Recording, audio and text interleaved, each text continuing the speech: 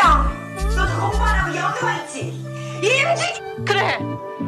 나 임지영이다 임지영 뭐뭐뭐 뭐, 어?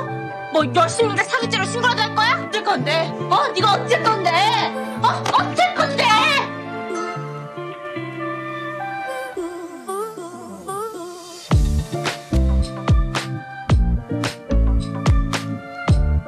화장 떡 칠해서 예쁘면 뭐해? 본판이 꽝인데. 너?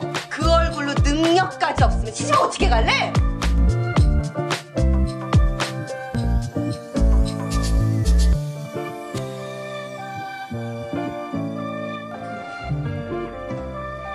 저기도 눈물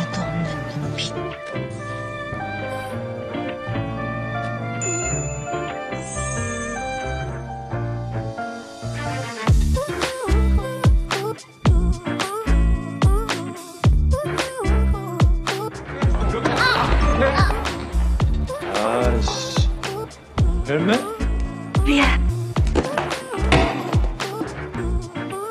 야. 내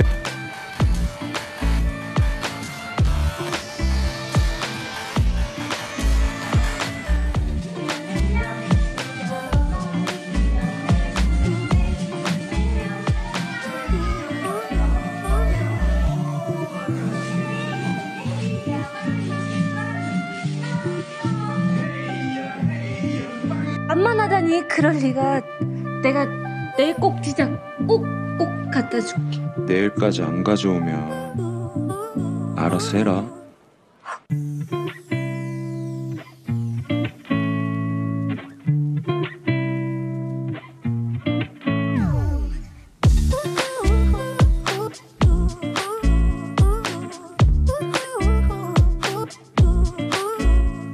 Thank you for watching. This is your Mrs. For updates, please don't forget to like, share, subscribe, and hit the bell. Have a good day. Stay safe, everyone.